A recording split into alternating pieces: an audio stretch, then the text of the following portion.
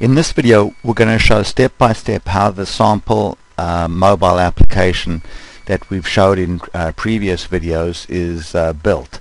So you can see here that uh, in our uh, sample app on the first page we have a uh, panel inside a panel navigator with an image on the background. So let's go back now and create a new component. We'll keep it as an empty component. We'll go to, first of all we'll go and choose our um, uh, mobile style then we'll go over to um, controls and we'll put in a panel card um, and uh, we'll turn on our mobile simulator and then we'll specify that this uh, panel card has a background image and we'll go and choose uh, one of the images in our project. So um, and there's the car the image of the car over there so that's 099 and so now we basically have uh, chosen a background image uh, for the panel over there so we can see our panel uh, with the background image. Now this um, panel was inside a panel navigator. So let's go and add in another card uh, underneath this um, and then uh, wrap these two panels inside a panel navigator now. So now we've got a panel navigator and uh, if we go back to our uh, reference app over here we can see that um, we have a button over here that moves us uh, to the next card uh, in the application. So and that button is in the footer section of the panel. So we'll go back now to um, our new component uh, which we're building um, over here and let's turn on the uh, panel footer. So we'll go there and turn on the footer. And then inside this footer we're going to go put our button. So let's go here to other controls and then go there to uh, button. And then inside this button we're going to put some text that says uh, let's get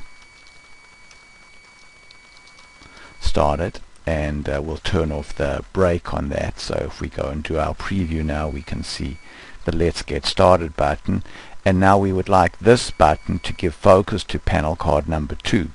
So we'll go to the on click event of this button and then we'll go here to the UX component panel actions.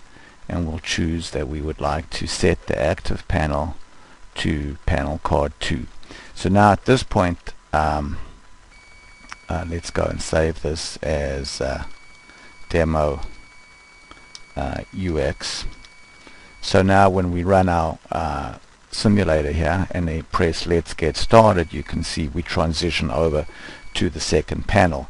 But also when we look at our uh, re reference app we can see that we have a title over there. So let's add in our title on the uh, navigator so we'll go back now and go to this navigator here and turn on the header. And then inside the header we'll basically put some static text. So we'll go there and add our static text and we'll just call this uh, static text uh, let's see uh, my app. So we'll go back now um, and uh, set this to my app. And then we'll set the container to justify the header as being uh, center justified. So now we've got basically our header section at the beginning and let's get started and uh, right now we obviously have an empty panel right there. So now going back to look at the reference app we can see that when we press let's get started we have a list control on this next panel. So now let's pause and pick this up in the next video. We will add the list control uh, to this uh, uh, application. So we're continuing our tutorial on how to build this uh, reference mobile application and what we're showing here is how uh, the uh, the second page of the uh, application, the second panel, has a list control. So we're going to go back now to um, the uh, component that we're building and we can see here that the um, second panel, which is panel card number two, is where we want to put our list control. So let's go now to uh, data controls and we'll choose a list control which we'll just call say list number one. And now let's go and configure this list. So this list is uh, displaying uh, data from the Northwinds uh, customer table. I'm going to go and just turn off the break there. And you can see also that what we've specified is that this list should completely fill the uh, panel contain the panel card that is contained in so now we're going to go to the list properties. We're going to choose a uh, SQL data source. We'll choose a connection string to uh, SQL Server Northwinds. Um, so let's go and find uh, SQL Server 2012 Northwinds over there. And we want the uh, customer table. So we'll go and choose the uh, customer table. And then the fields we want from this table will be say customer ID company name um, contact name and uh, say uh, city and then country. So we've chosen a few fields um, over there.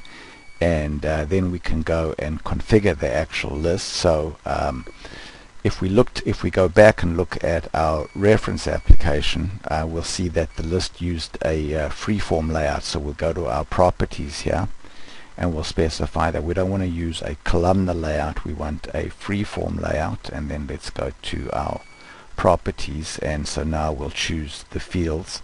So we'll go here and we'll choose say um, company name and then we'll put a uh, break to move to the next line. And we want company name in bold so we'll just put in a bold tag over here. So slash b. And then on the next line after the company name.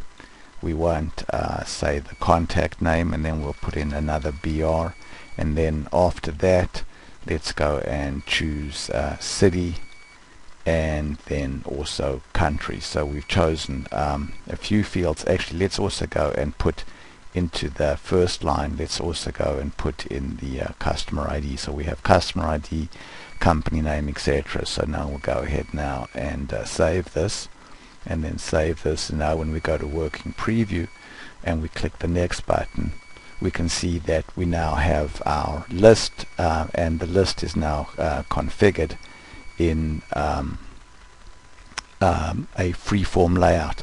But what we also see is that our Let's Get Started button is still displaying over here and we really don't want that.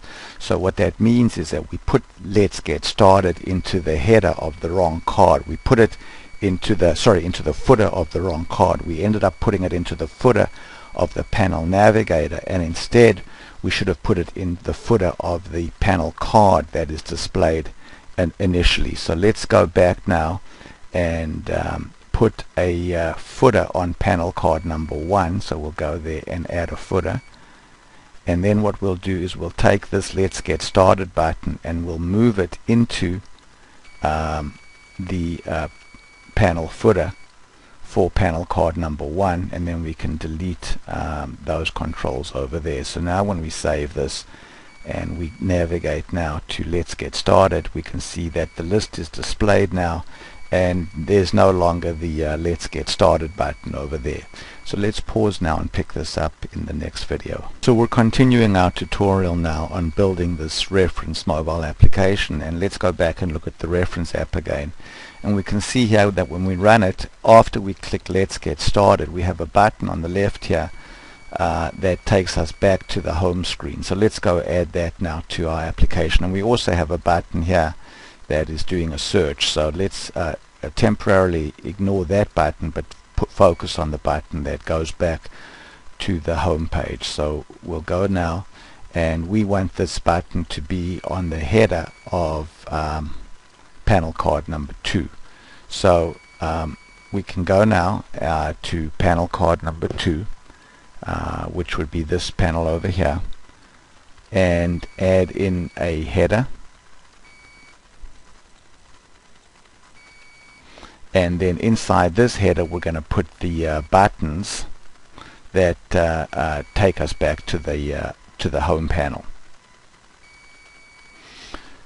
so let's put um, uh, our button in here. So we'll go now and um, we'll go to other controls and we'll put in a button and we'll say that this button text is uh, home and um, we'll turn off the break after the button and then we'll set the action on this button to go back to uh, panel card number one. So we'll go there and we'll choose UX components panel actions and we'll go back to set active panel to panel card number one. So let's save this now and go back to uh, working preview. So there we go. And now there's home. But what we can see is that we ended up now with two with two different headers, which we really don't want. So what we're going to do now is we're going to uh, put this header, which is the header defined for the panel navigator, we're going to remove that header and move it uh, into the header for panel card number one so that uh, you'll see then that that will get rid of this double header action over there. So we're going to go now to panel card number one and uh, turn on the header and then we're going to take uh, this uh, control and move it into the header for um, panel card number one. So there we go. So now we've done that.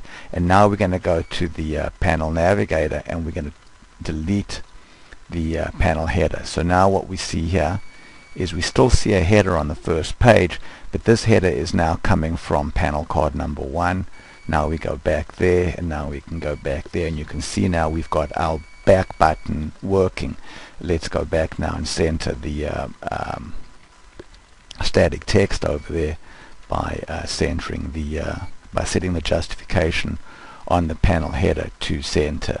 So we've made quite a bit of progress right now, but we're still not uh, uh, completed by any means at all because we've still got to now put in the uh, map control, put in the transition from the list control to the map control, etc.